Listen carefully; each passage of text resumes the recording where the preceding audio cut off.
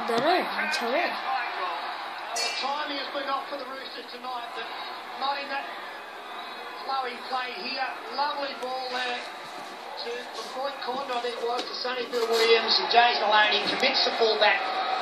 He's the man that you want shooting up on the Harvey Norman replay on your outside, Michael Jennings. Beautiful play there. Precision passing. They get their centre try. Cost Jason the dummy half to Tamo. Scott. Thurston. Morgan again. Michael Morgan. And he charges through. His former pivot. Playing number one. And he gets the ball away. Kane Linnett will score. And the Cowboys charge to 12 0. That's uh, the Cowboys love doing coming out of their own area. They work to a side of the field and the foot, the front rowers work together with short passes. Then the ball comes out the back to Thurston. And then he plays out the back to Michael Morgan on the Harvey Norman replay. Have a look at the way he sums this up here. Just holds the ball up beautifully. Last minute inside to Leonard. And the Cowboys, they go forward. The Broncos just can't handle the go forward of the Cowboys. Oh, hang on a second. There's a chance. Back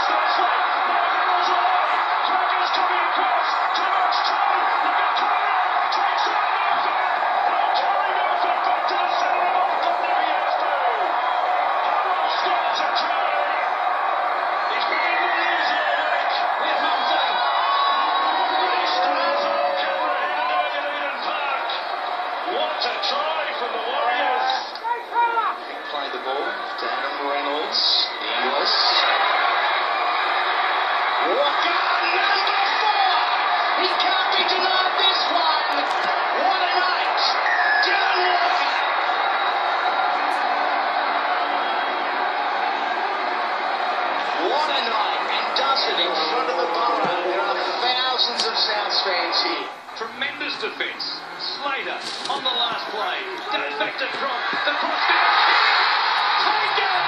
by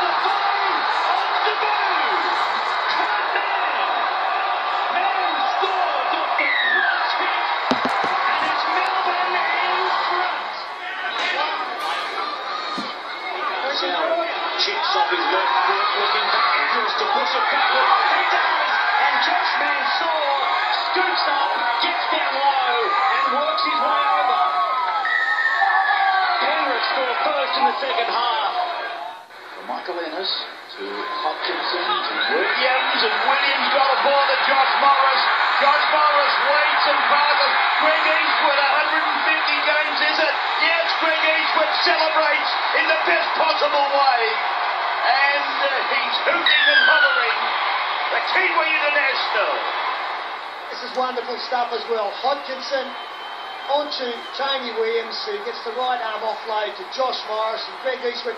Had support looming up on the outside, but he's got great footwork for a big man, as Greg Eastwood. And on the Isuzu D-Max replay, it'll look very good from the front. Left footstep, right footstep, under the post. Well done. The Eels will after a, a number of errors need to get this set. Hayne does a great job to give it to Tonga and then back to Hayne. Here he goes, he. Look at Jarryd Hayne go, stepping, waving, making it to the line, and scoring.